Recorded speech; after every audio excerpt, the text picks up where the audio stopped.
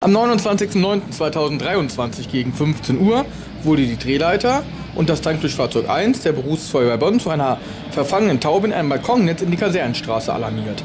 Die Feuerwehr konnte die Taube befreien.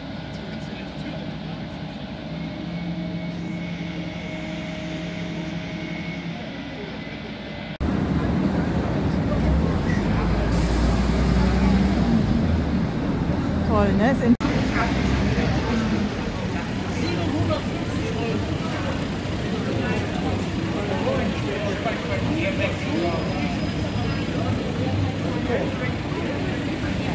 i'm sorry